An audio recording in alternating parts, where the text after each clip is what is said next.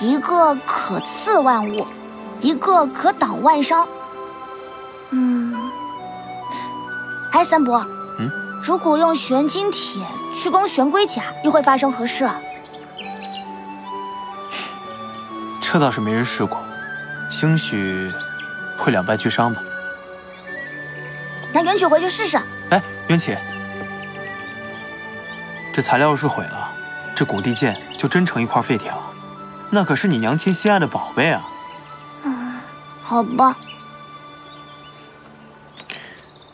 元起，你娘亲刚刚苏醒，有些事情，三伯要跟你交代一下。不会又要对此吧？那倒不至于，只是……哎，三伯，前几日呢，凤然姐姐带我下山，我们碰到了花族的小八。三伯，你是晓得的。这小八呀，比我还小五十岁呢。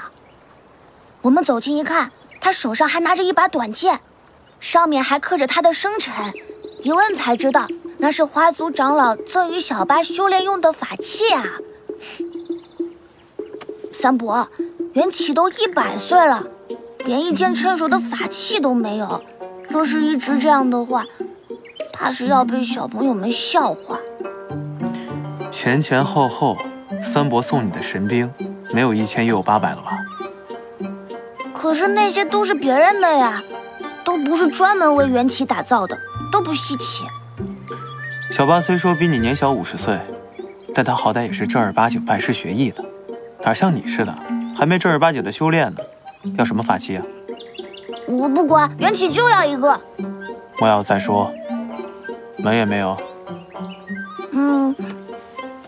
三伯，你当时是没看见小八挥舞那把剑那样，可得意了。我想借来玩两天，他都不同意。借你，借你，只怕是有去无回。小八又不傻。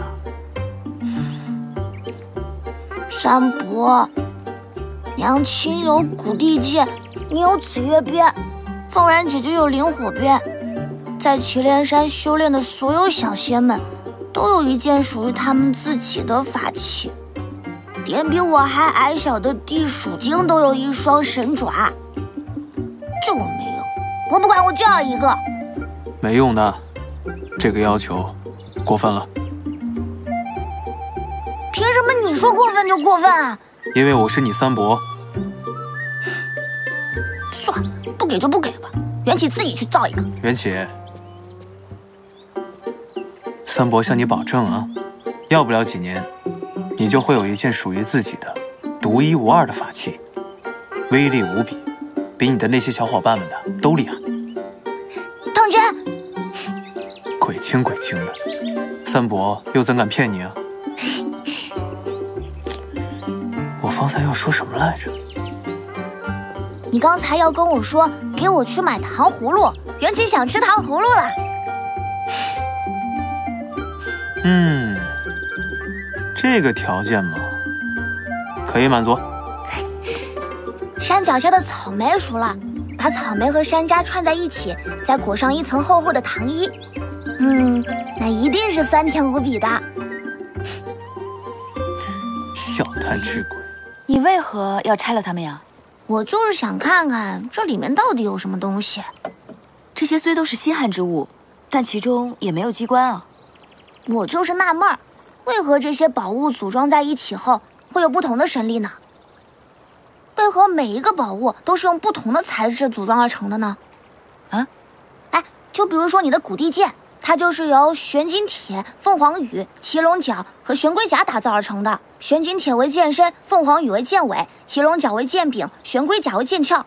为何非要用这四样材质方能铸成古地剑呢？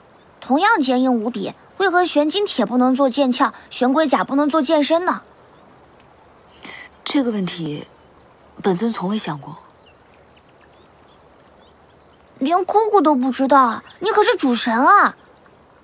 我自然知道，只是我沉睡的太久了，醒来以后我有点不记得了。天启都同我说了，你父神呢，表面冷冰冰，但本人也算持重。没想到他在你的事上。比天启还不着调，往后你就待在姑姑身边，姑姑替你父神照料你好不好？你母亲算是个凡仙，但你也算是咱们神族的血脉。以后只要你乖乖的，你要什么，姑姑便给你什么，好不好？真的？嗯，那我要我娘亲。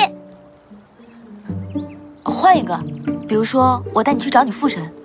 我找他干嘛？我听天启说，他从未带你去过苍穹之境。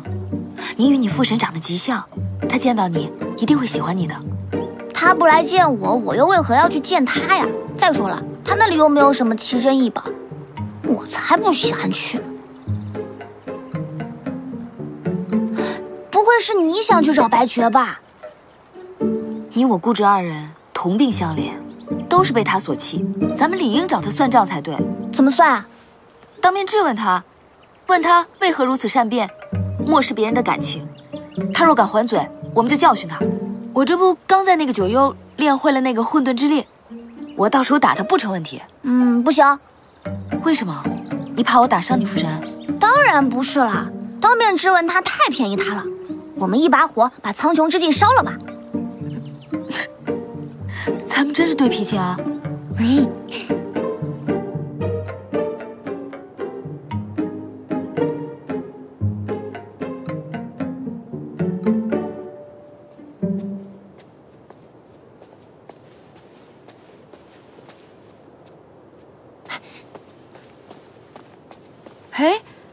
的糖葫芦怎么比我的还大啊？啊，三伯给我做的。早知道我不下山去买了。天启什么时候学会做点心的？我毕业大学的。走吧，我带路。你会腾云驾雾了？嗯。不许在你娘亲面前使用混沌之力，明白了吗？嗯。哎。呃，不是，我带路，你带我。啊，那你拉着姑姑啊。嗯。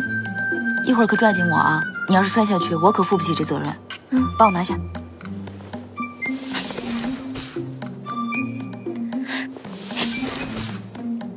丹田。哦。啊，混沌之力应该由丹田蓄力，我真是睡糊涂了。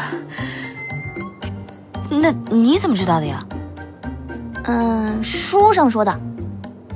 不愧是白绝的儿子，小小年纪就能教导本主神了。走吧，嗯。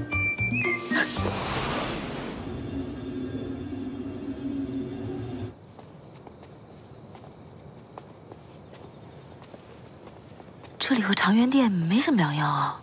说好了，只许看，不许说话。不是说好要烧房子的吗？烧房子？我可是堂堂三界主神，是不是不太地道啊？